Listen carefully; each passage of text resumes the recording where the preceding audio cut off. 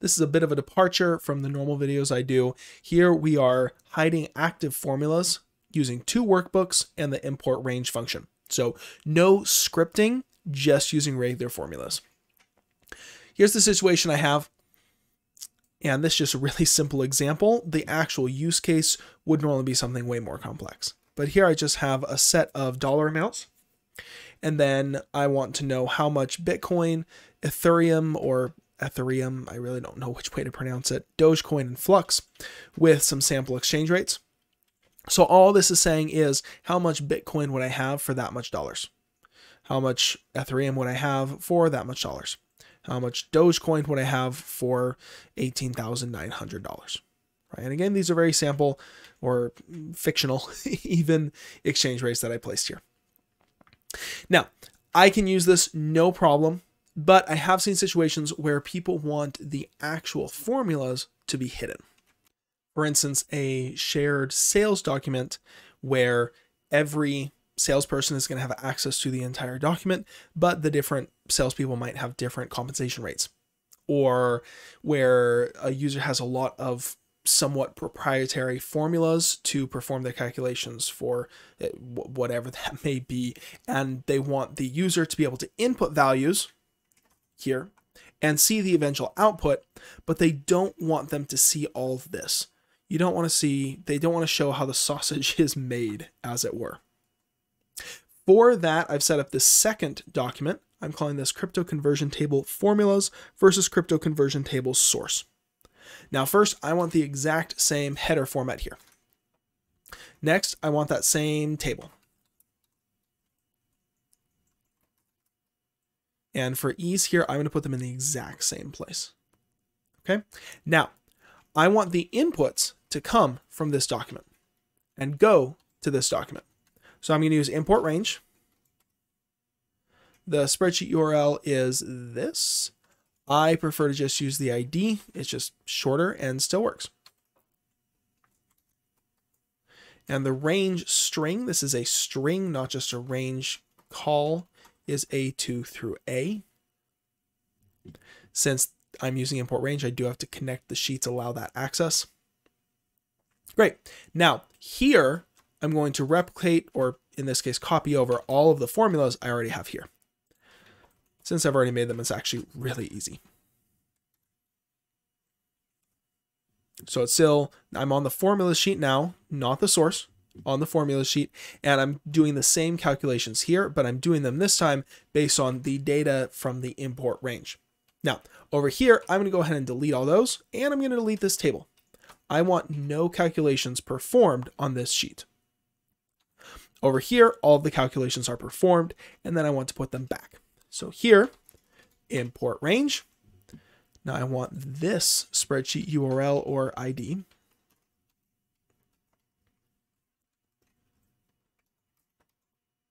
And the range string is B2, string B2 through E. Just as before, I need to allow access. Import range accesses are not two-way. You do have to authorize them both ways. All right, I am getting the correct outputs for every input, but there is nothing actually, there are, there are no calculations performed here. The user cannot see what's going on. Obviously, in this case, you can reverse engineer that really, really easily, but that's not the point. This is a proof of concept that you can use two import ranges to hide the values. Now, two proofs here. First, let me come down here and add a new value, let's say $5,600. If I come to the formulas, then it's added the 5600. And I just don't have this coming down all the way. So let's change that actually to array formulas. A2 if length A2 through A, then A2 through A divided by H2, else nothing.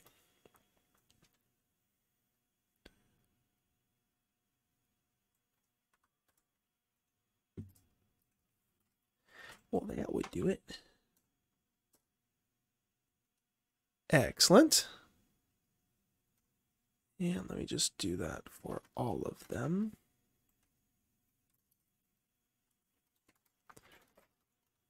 Formula. If length A2 through A, A2 divided by H3, A2 through A.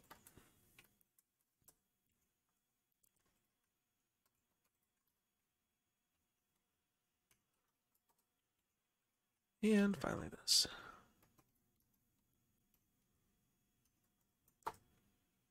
Excellent. Now, we already saw that it was adding the 5600, uh, but let's go ahead and do that again so we can see the full process. It is populating them here. Let's say I have 900,000. Give me a lot. Then over here, it's going to add in the 900,000. And over here, the 900,000 divisions are going to work out.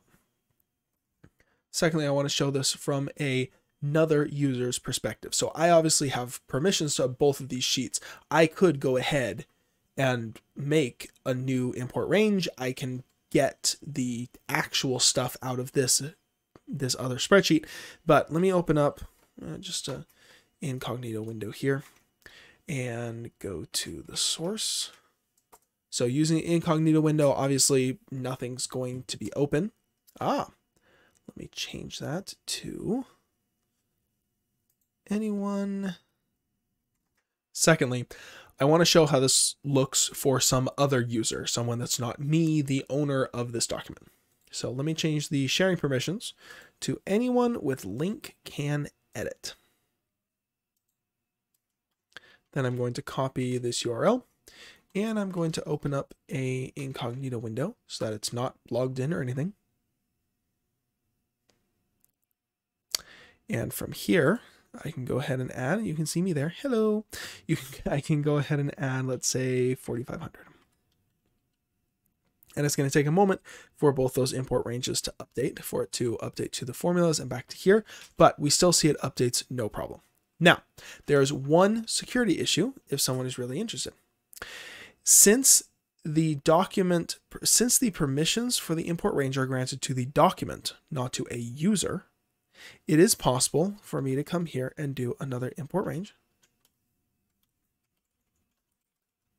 Start with this one. I can do another import range G2 through I. And it doesn't ask for the permissions again because the permissions were granted to the document, not to the user right? I'm not a logged in user. I can still get to those. So for most cases, this is probably enough security, right? There's already an import range there. Most people aren't going to care. If you really care, there is a way. And what we need to do is create a third tab. So we are third document. So we have a source, we have a formulas. I'm going to do a new spreadsheet. And I'm going to call this crypto conversion table middle step. Pretty generic what that's going to be. All this is going to do, let me increase the size on this one.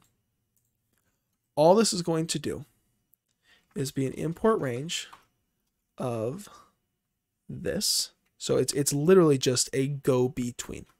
So this is going to be this document, the formulas document. And my range string, I'm just going to do A to A through Z. I want everything. This is going to be a clone of the formulas document, but without any formulas on it. Okay. Now on the source,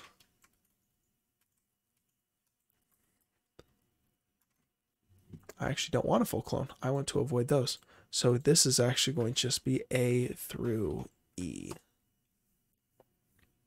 Great. Now on the source, I can change this spreadsheet URL or ID to the middle step one, allow the access, and it fills out. Okay. But now I cannot get these values from the obvious import range. This is the import range that I have on the source. So again, let me copy that, open it incognito. right? Here's all the values I have. And if I copy this import range, same as before, move it over here and try to do G2 through H. It's going to load, but it's not going to load anything. There's nothing in that location of the middle step. Call that whatever you want, but it's this little holding place to make sure the formulas cannot be gathered. The source material for those for those formulas cannot be gathered anyway. So for most, we can just rely on a on two sets of import range, one set of import range, apologies. So it's a source document where inputs are located. It's a formulas document, which actually contains the tables and other data data sets we have and the formulas that we care about. And then the output of that form of those formulas is brought back to the source document using an import range. If you need one more level where no one else can get to those, take this middle step, copy everything, all the all the output values from the formulas, import range them here, and then use this as the source for the import range back to this area.